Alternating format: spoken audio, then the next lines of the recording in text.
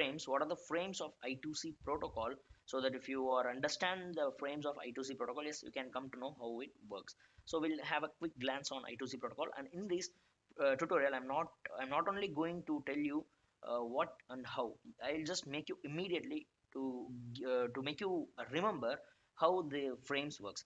So the frame is here i have start with uh, without name i have given so that you can easily remember. Here i will start with green. Green is a start bit. As the traffic rules how it is? So green is start. So start start of bit.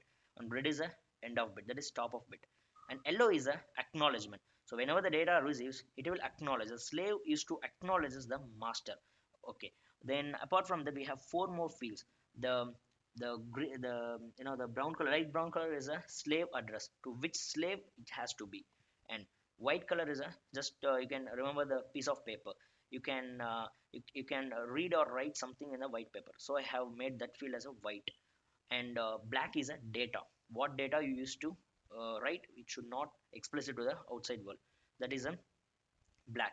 And uh, purple there is a light blue is nothing but the register or address. So now i guess it is easy to remember for you. So green is simple start ready stop. Yellow is a acknowledgement as per the traffic rules. Then black is a data. It should not explicit. And white is a paper that uh, you can read or write any address.